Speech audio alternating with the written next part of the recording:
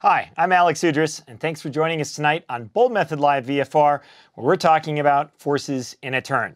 I know this is a pretty fundamental topic. It's something that we learn about, hopefully, in our private pilot training, uh, but we don't always learn about it in depth. And then it's not necessarily covered because it's just kind of a given as we move on into our more senior flight courses.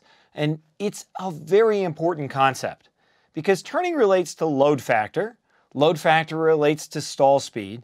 And in an uncoordinated turn, when you start talking about slips and skids, those really start to relate to spins. And obviously, it's an incredibly common flight maneuver. We're doing it all the time, low and high, critical flight scenarios, and in cruise. So tonight we're going to take a look at the aerodynamics behind a turn and how an aircraft flies through a turn. We're going to talk about some overbanking tendencies and your control inputs during a turn. Then we're going to talk about skids and slips and the difference between those two items and a coordinated turn. We're going to talk about their effects on the aircraft's performance in a stall and why you should keep an aircraft in a coordinated turn at all times. And we're going to talk about some real flight scenarios where you could get yourself into a skid or a slip, both unintentionally and possibly, in the slips case, intentionally. Corey Komaric is working the chat tonight. He's moderating. So as we go through the presentation, if you have any questions, if you want me to go into more detail, throw it out right away in chat.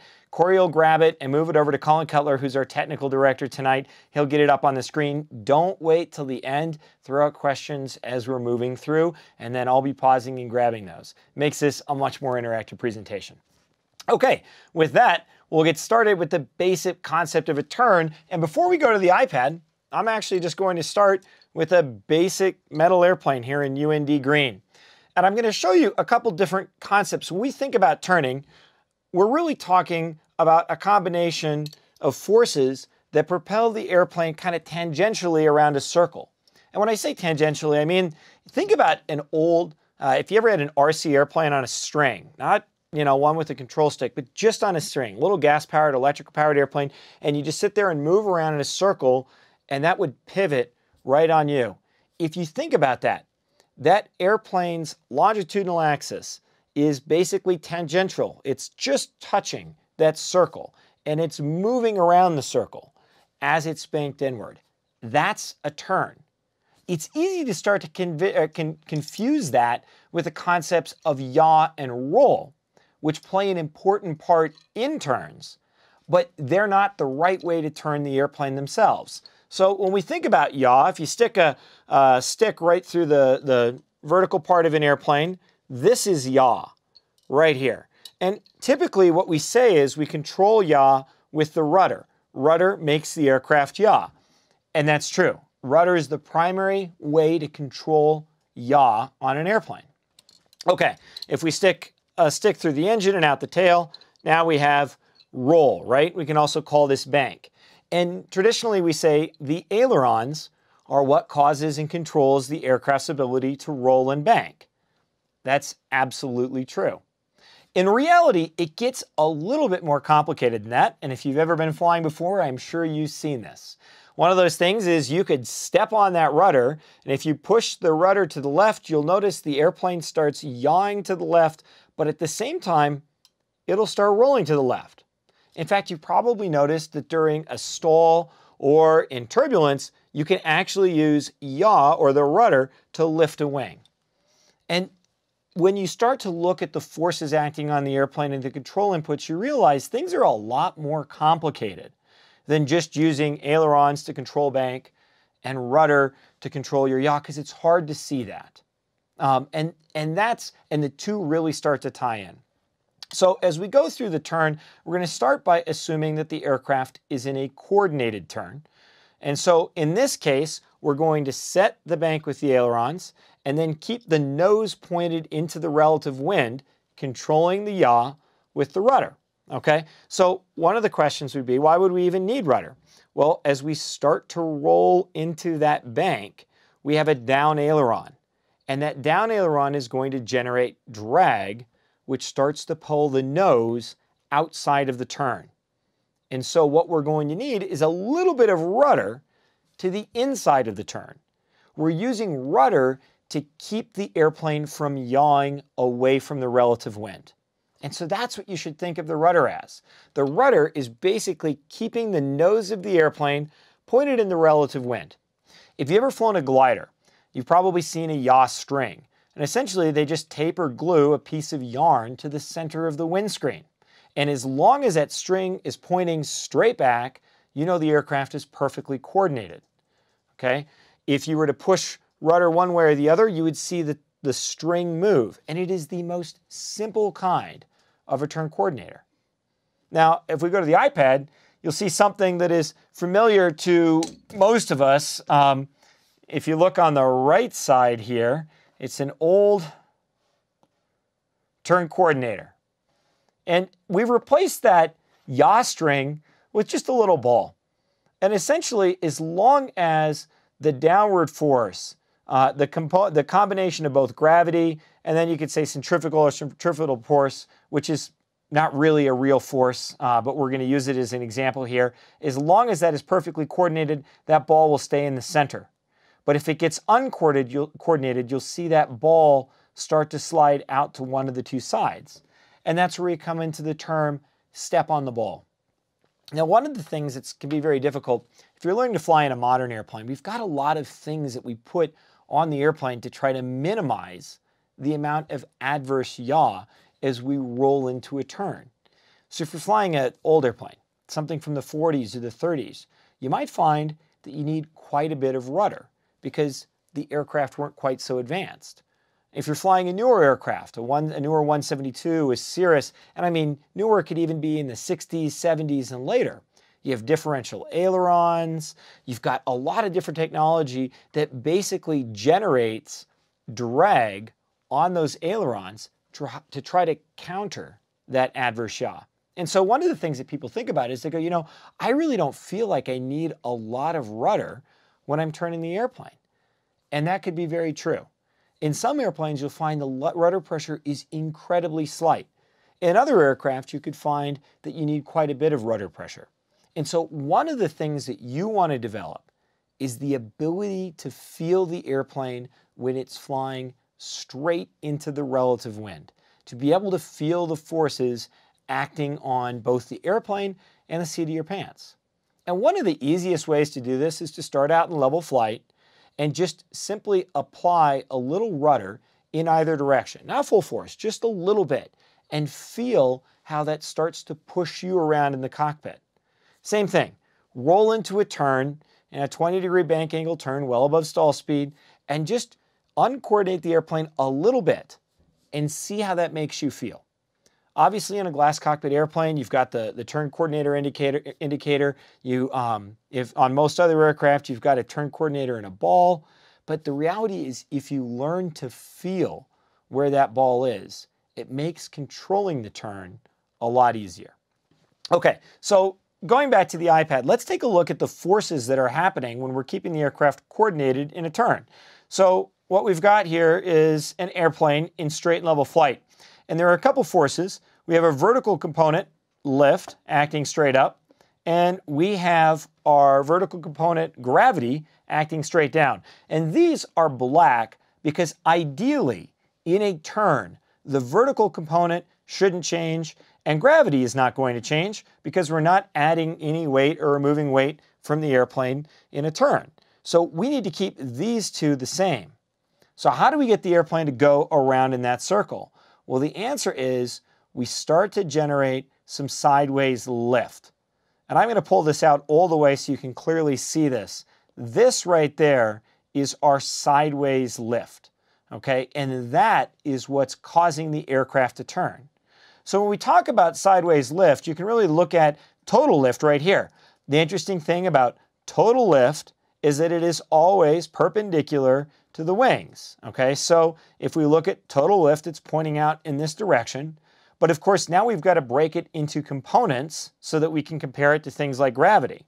And so one component is this vertical component of lift, and you can see that throughout the turn, we want this to stay the same. Otherwise, we're going to start to climb or descend as we accelerate or decelerate vertically. Okay, and then you've got the horizontal component of lift. That's what's making the aircraft turn. Again, gravity stays the same.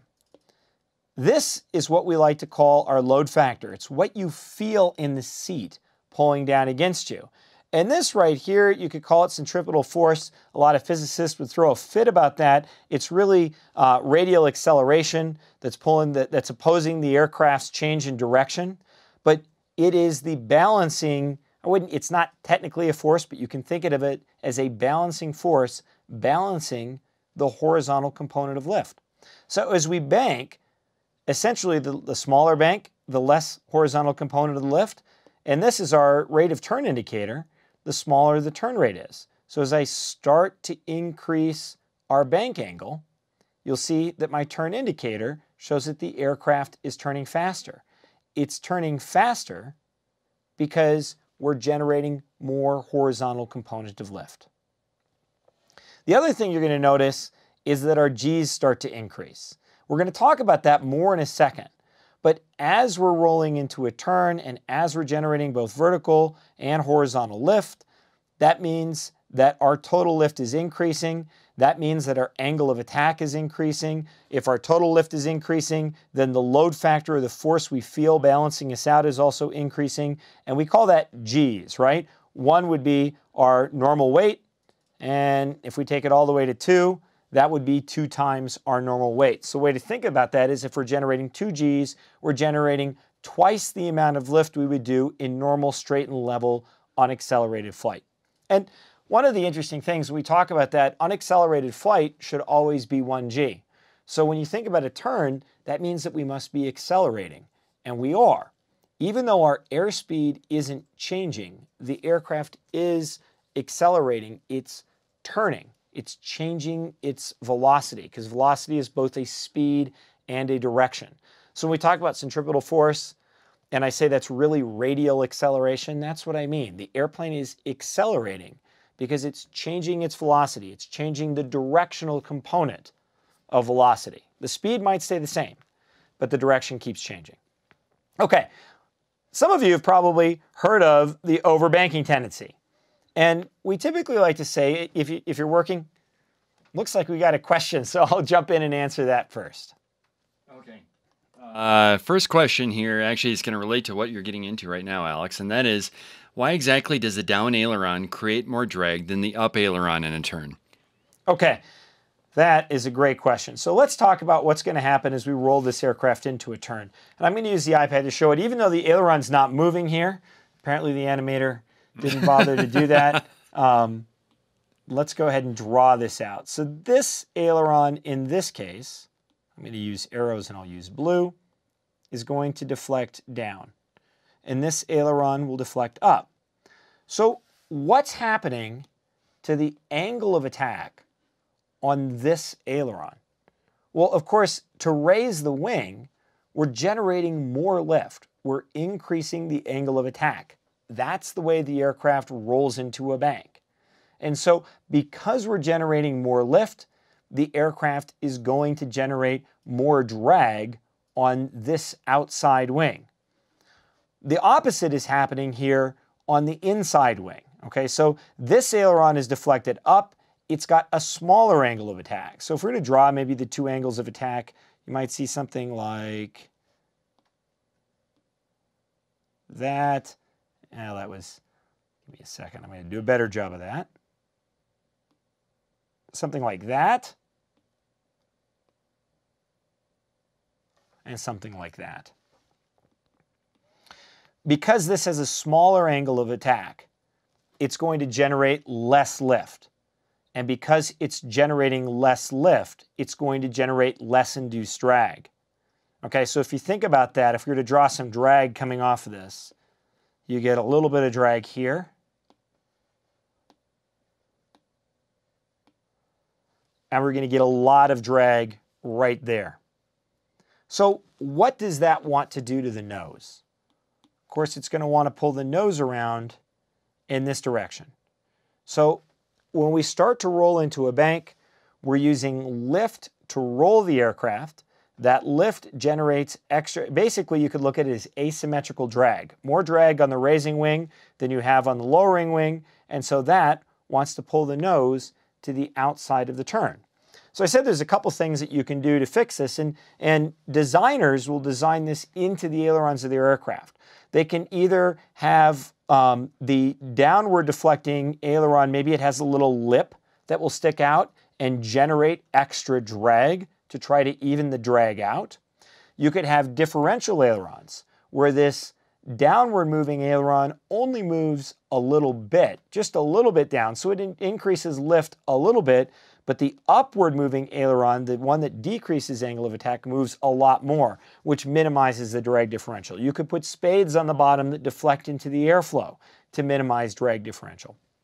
When it comes to aircraft design, Ailerons are a lot more complicated than we think because if we make them deflect equally up and down and stay perfectly in line with the wing, you're going to end up with a lot of adverse drag, pulling the nose to the outside of the turn. And that means you're going to need a reasonable amount of rudder pressure to keep that nose aligned with the relative wind. So that's one of the reasons when you fly different airplanes, you may notice that the aircraft requires different amounts of rudder pressure as you roll the aircraft into the turn. A Cirrus requires very little rudder pressure to roll itself into the turn, and a Aeronca Champ is going to require quite a bit more. And so each airplane is going to feel different. Now, once you get the airplane into the turn, if it's a fairly shallow turn, and the airplane is neutrally very stable, it will just remain in that bank angle and you'll neutralize your ailerons because at that point in time, the airplane will fly around in the bank angle you've set. So as you roll into the turn, you're using the aircraft, to, the ailerons to bank. Once you get to the bank you want, in almost every uh, modern training aircraft, you can literally let go of the ailerons or let go of the stick and the aircraft will hold that bank angle. Those ailerons go back to neutral, which means essentially the drag on both sides of the wing, the downside and the upside, is about the same. So really, once you're in the turn, you require very little rudder pressure, oftentimes none at all. And so when we think about that, we're really using rudder to rudder to keep the airplane aligned with the relative wind as the ailerons are creating differential drag, or adverse yaw. But once the aircraft's set up in its bank angle, that rudder is going to go back to neutral. Okay, so there's a few things that can start to change this. And one of those is the overbanking tendency. So let's just imagine that this airplane is turning on a pivot. It's attached to a pole right there. And if you think about what's happening in this case, the speed differential between these wings is going to be very, very different. Okay, if it's attached to a pole, this wing right here is actually going to have zero airspeed. This wing will be moving significantly faster. And because of that, because this inside wing has zero airspeed, and this one's got a lot more, the outside wing is going to have a lot more lift than the inside wing. And that extra lift on the outside wing means that you're going to generate a rolling motion that pulls the airplane into the turn. And also, the extra lift means that you're going to have some extra drag on that outside wing. Okay, so really, when we're turning, we're not turning on a pole. Normally, in a nice shallow turn, even though that inside wing is moving slightly slower than the outside wing, the difference is so small, that speed differential is so small that it really doesn't generate a difference in lift and a difference in drag. But if you ever practice a steep turn, if you work towards any pilot certificate, you've done at least a 45 degree turn, you feel the load factor there, but at the same time, you should notice the overbanking tendency, that increase in lift on the outside wing that tries to roll you into the turn. And so what do you need to do to compensate? You need control deflection away from the turn, to the outside of the turn to keep that bank angle perfectly steady. So sometimes this surprises people in slow flight because you can still get overbanking tendency in slow flight even at very small bank angles. And that's because that overbanking tendency depends on the radius of turn, not necessarily the bank angle itself. A very small radius turn is going to generate a lot of speed differential between the two wings. And so there's a couple ways that we can keep the radius of turn small. Number one, we can increase that bank angle, which increases the rate of turn and decreases the radius. But the other thing that we can do is we can slow the airplane down. And if we keep the same bank angle and just slow the airplane down, it's going to tighten the radius of turn. So when we like to think about overbanking tendency, if you go back here and, and you look at the iPad, you can see that as you increase the bank, you know, we start to show it growing, but this, the point at which you start to feel this really depends on the airspeed that you're flying. When we're doing a steep turn as a practice maneuver, uh, you're typically going to feel it at your normal, um, not your technical maneuvering speed, but the speed that you'd fly your maneuvers at. So, you know, in this maybe 100, 120 knots.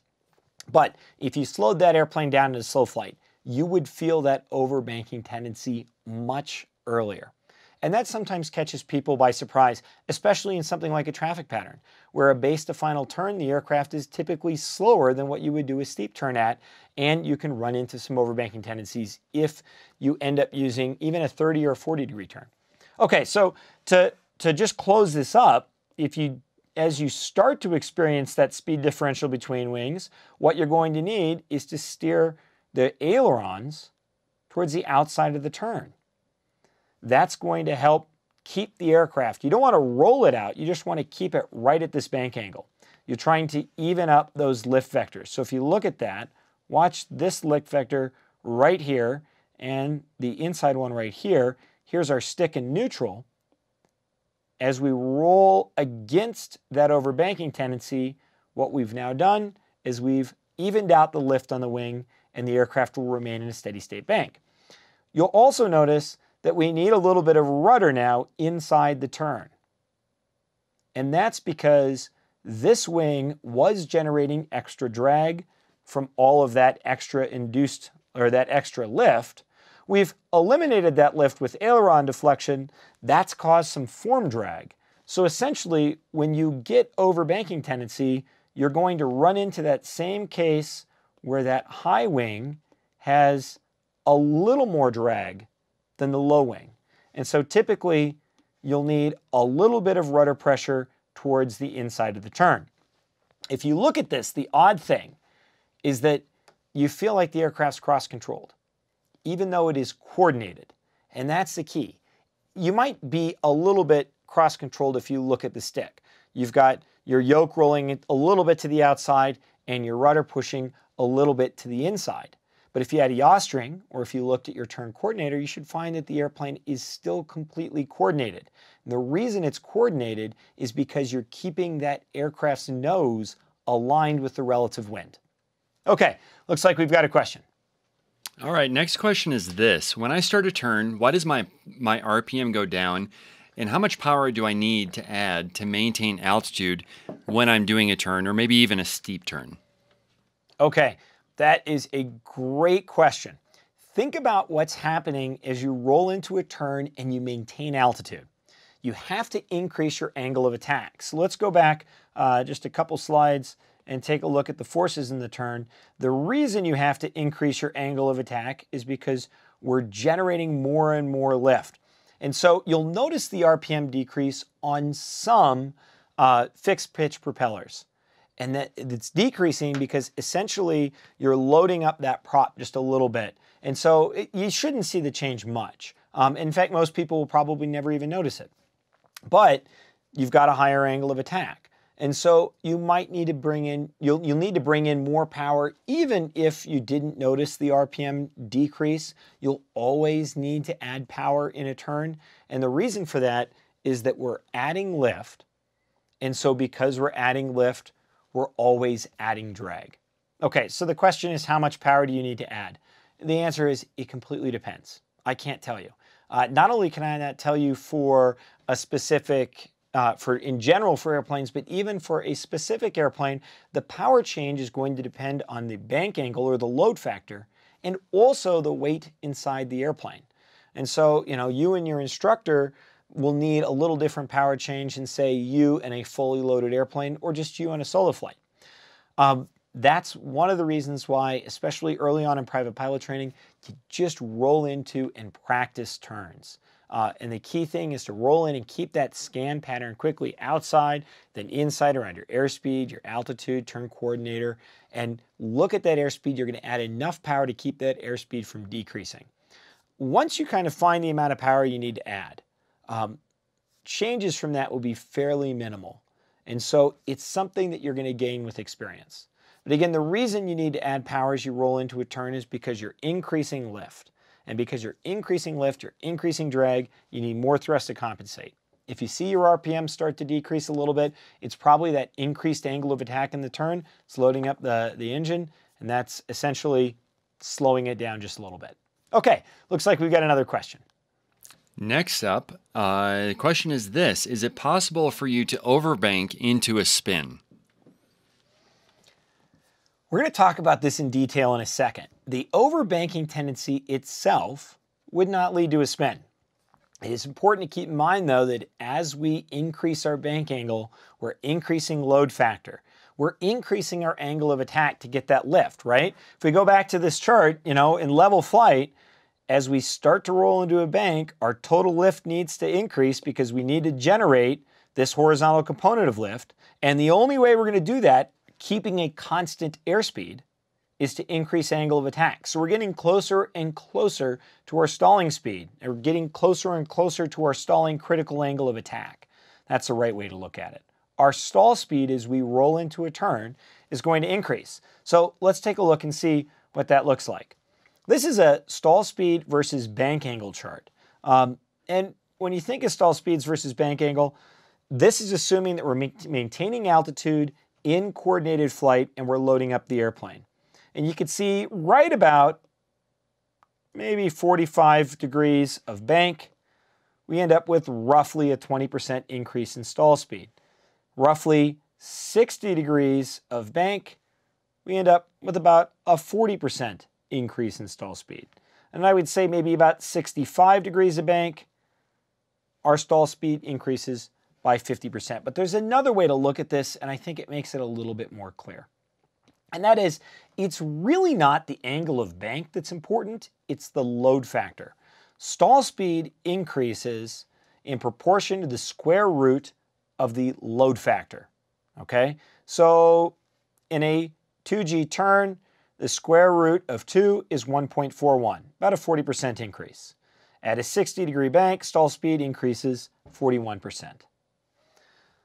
So let's take a look at a slip and a skid because that's where I think stall speed really um, and, and spins really start to show up. And, and that is in a coordinated turn, the relative wind is pointed right down the aircraft's nose.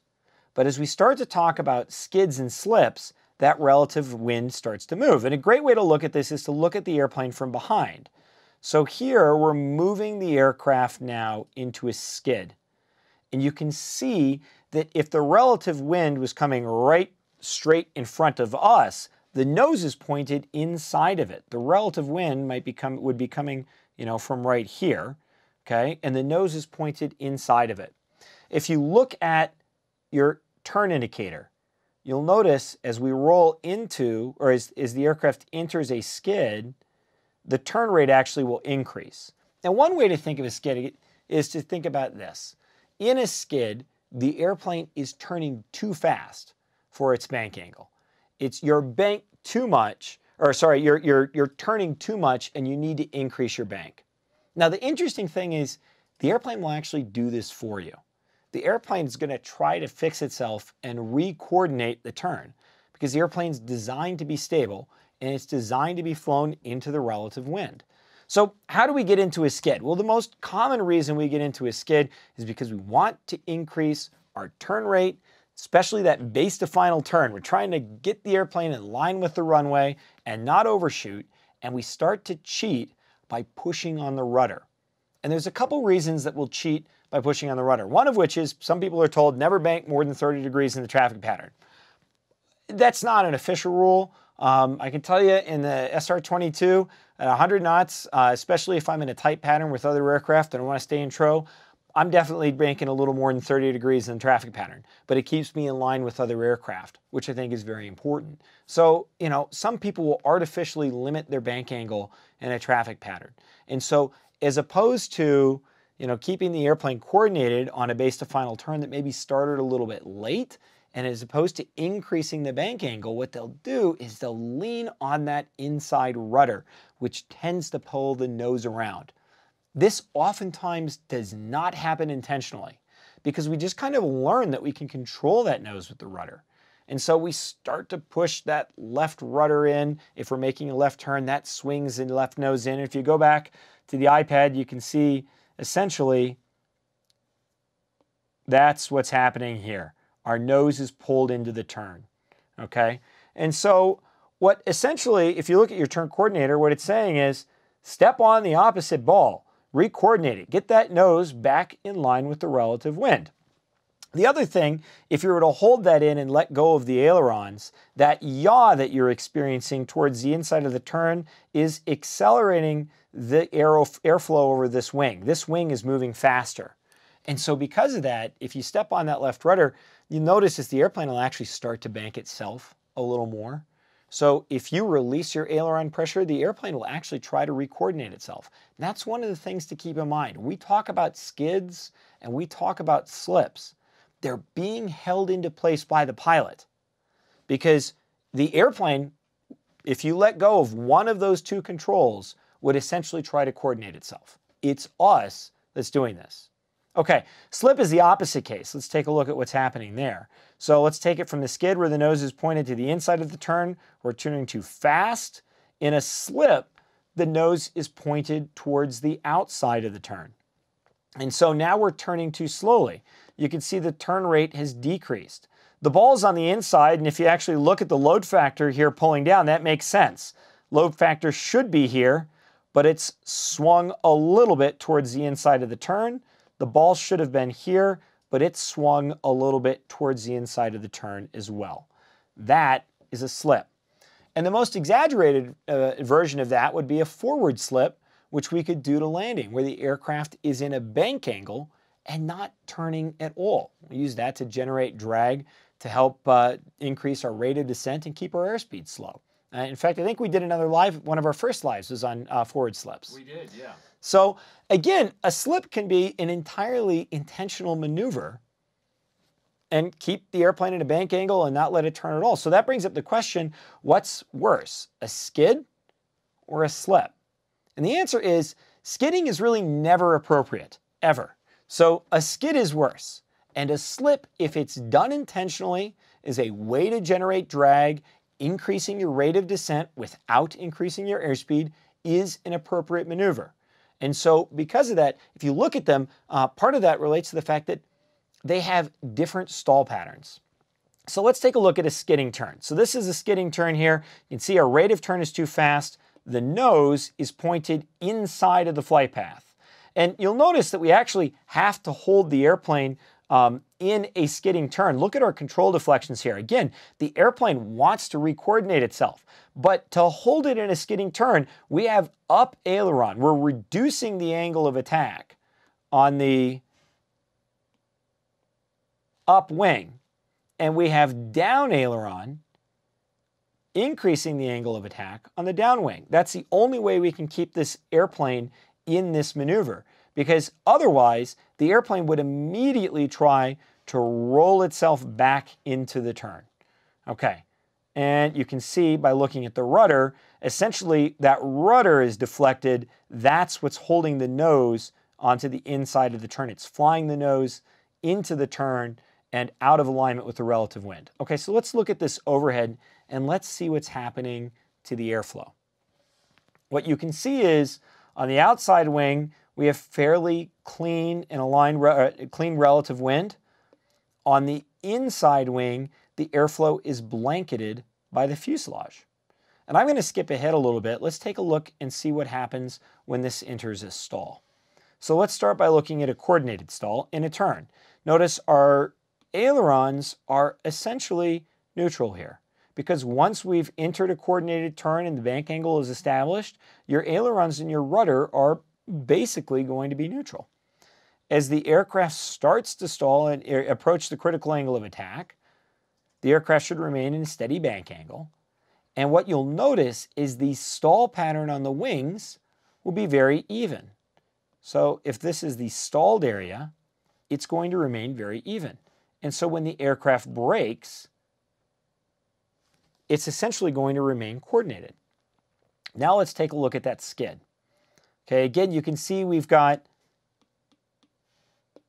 the rudder holding the nose to the inside of the turn.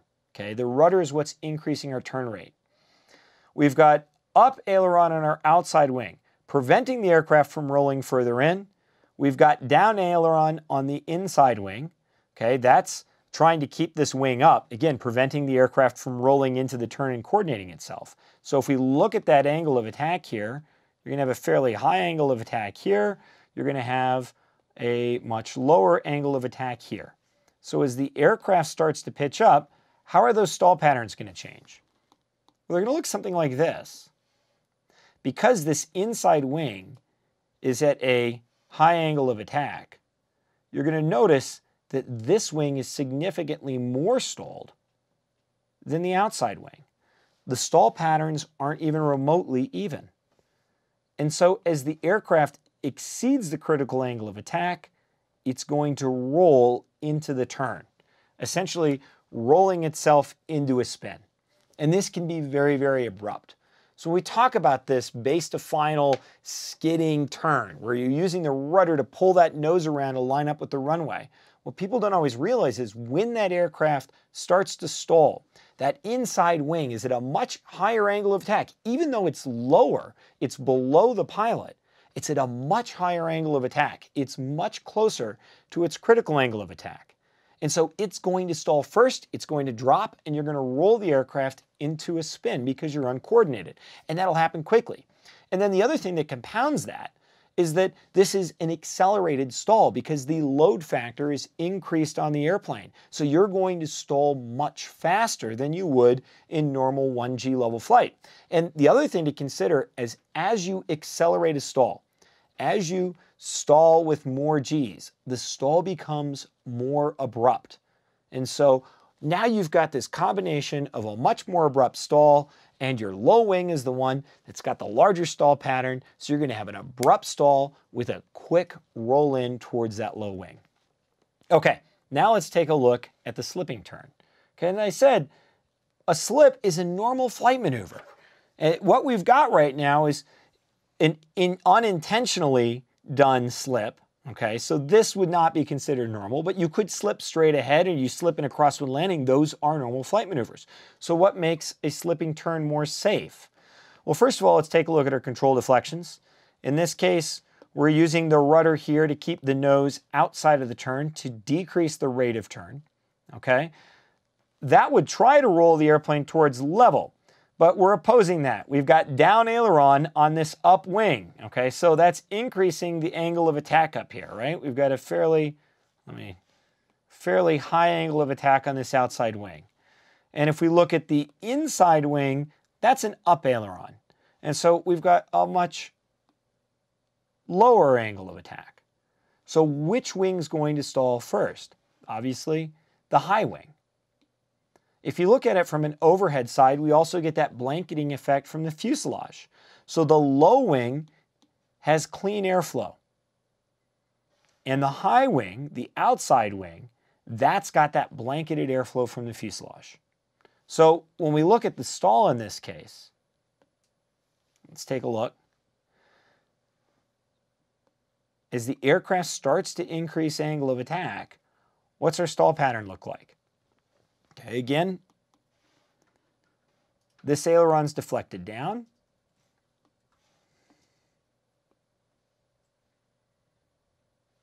So it's, I drew that wrong, I'm going to do that again. at a higher angle of attack. The inside aileron is deflected up, lowering the angle of attack on the wing. The stall pattern, this outside wing is much more stalled, the inside wing. So as the aircraft stalls, it's going to roll itself towards level. Now, if you kept the slip control in, it would enter a spin, but it's going to roll through level and then down towards what was once your high wing. And so when we talk about a skid, okay, where you're turning too fast, the nose is on the inside, you're turning with rudder as opposed to keeping the aircraft turned, that skid is very abrupt and immediately you roll down into a spin, whereas a slip, you're going to notice the aircraft tries to essentially level itself out. And if you simply let go of the controls, the aircraft will recover essentially in a level stall. Okay, looks like we got another question. Okay, next up here from James. Uh, he wants to go back to the overbanking tendency, and he says this With overbanking, is this where, if you're not careful, you can get yourself into a cross controlled stall? That's a great question. It's actually not overbanking that leads to a cross controlled stall, it's the skidding turn that leads to a cross-controlled stall. Overbanking tendency is not going to generate enough aileron and rudder pressure that you, know, you really would end up in a um, cross-controlled stall. It's, it's the, the, the pressures required to keep the aircraft from rolling in on itself are generally fairly light. Okay. The other thing that you to think about is typically when we're flying um, in this kind of a maneuver, it's a high speed. Um, you're, you're not very uncoordinated uh, and you're fairly far away from your stalling speed. It's the skidding turn. That's the one that leads to a cross-coordinated stall. And so I'm going to go back to that skidding turn here. Okay, we're going to rewind back to the beginning on it. Okay, if we look at this, the aircraft's turn coordinator isn't going to be um, I'm going to draw a, draw a poor looking ball here, but we'll make this work. Colin, what do you think of that? It'll pass for now. Okay, so let's say that is the center. Okay, in this case, okay, switching colors.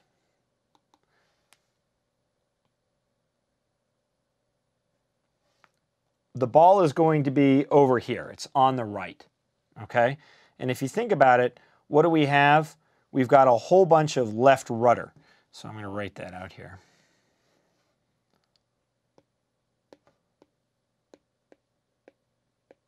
We got lots of left rudder keeping the aircraft into the turn.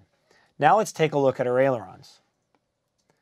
This aileron right here is deflected down so if you were to think about this, the yoke is going to be turned to the right. So I'm going to draw a yoke, and if we were to think about it, it's going to look something like that, if that's your yoke. It's not straight, it's turned to the right. That's what we call a cross-controlled stall. That's the most common variety. And what will happen is as the aircraft goes through the turn, you could continue to increase that rudder deflection. And to counter the aircraft rolling in, you're going to have to continue to roll the bank even more towards the outside. So you end up with, in this case, lots and lots of right rudder or left rudder with lots and lots of right aileron. That's how you roll into that cross-controlled stall. And so when we talk about that, again, the most common cross-controlled stall is going to happen base to final. And that's simply because it's almost always the fact that we're trying to make that turn line up with the runway and we're overshooting. And the key thing to remember is A, you want to limit your bank angle to a safe bank angle. You don't want to end up in a 50 degree or a 45 degree turn on low, at low altitude and short final. But the other thing is you can never uncoordinate the airplane to cheat on that turn if you can't get that turn lined up with the runway, it's safer to overshoot than it is to try to uncoordinate the airplane and skid around into the turn. Okay, so what would happen if you're in an airport like Metro that has two parallel runways and you realize, oh man, I, I'm going to overshoot?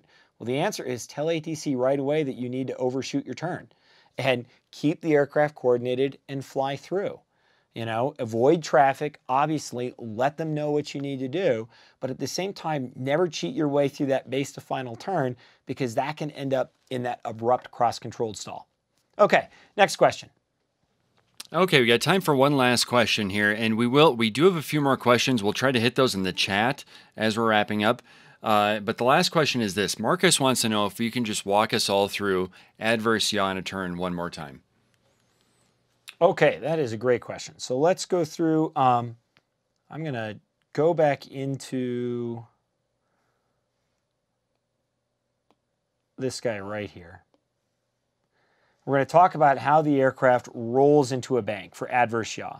Okay, as the aircraft starts to roll, and that's where you notice the adverse yaw. It's not when the aircraft stops and holds a bank.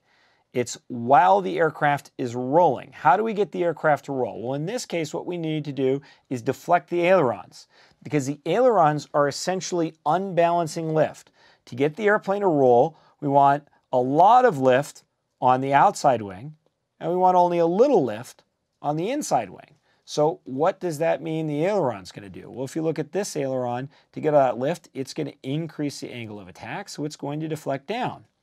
And the inside wing, you want to decrease the amount of lift. We're not generating negative lift. We're just creating a little bit of an imbalance. So we're going to decrease that lift. That means that we're reducing the angle of attack.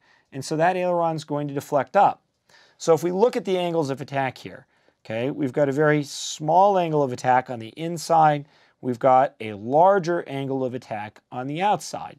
And that means that we're going to run into a difference in, in, in lift and therefore, always if you, if you create more lift, you also create more drag. Okay, so this one right here is going to generate lots more drag than this guy right here, just a little bit of drag. Okay, so if you think about that drag and what that wants to do, essentially that drag is going to start pulling on this wing more than it pulls on this wing. And that's going to pull the nose to the outside of the turn. And so that's why adverse yaw always wants to pull the nose away from the turn because that down aileron on the outside wing is increasing your angle of attack so that you can generate unbalanced and extra lift to roll the airplane. And that increase in angle of attack, the increase in lift, means an increase in drag, pulling the nose away from the turn. And the way you're going to fix this is to use your rudder okay, to fly the nose back into the turn and line it up with the relative wind. That is essentially adverse yaw. And again, we try to neutralize some of this with aileron design, but at the end of the day, you need a little bit of rudder pressure in some airplanes and a lot of rudder pressure in others. And that pressure is going to change with your airspeed. You know, you'll notice different pressures when you're flying slow and fast. Okay, that's all the time we've got for tonight. Um, our next presentation, which will start at the top of the hour, is RNAV procedures. So if you're an instrument rated pilot or if you're thinking about getting your instrument rating, we're going to talk a little bit about what we used to call a GPS approach. Now they're called RNAV approach procedures. We're going to talk about the differences in the different kinds of minima and how they're flown a little differently. And this is, you know, uh, kind of focused on the pilot side. So how you would use each of the different types of minima and what would happen if your GPS receiver had a failure and had to downgrade. Uh, so that'll be our IFR Live, starts at the top of the hour. And then at Oshkosh, Monday, Tuesday, and Wednesday, we have three presentations. All three of them are starting at 1245. They're in the EAA Pilot Proficiency Tent. They're 100% free. Uh, so please come on down. We'd love to see you. Uh, we'll be at Oshkosh the entire week. We don't have a booth, but we wander around. Um, so if you see us, please stop by and say hi. Okay, hope to see you in IFR, but otherwise, hope to see you at Oshkosh or live in a couple weeks. Good night.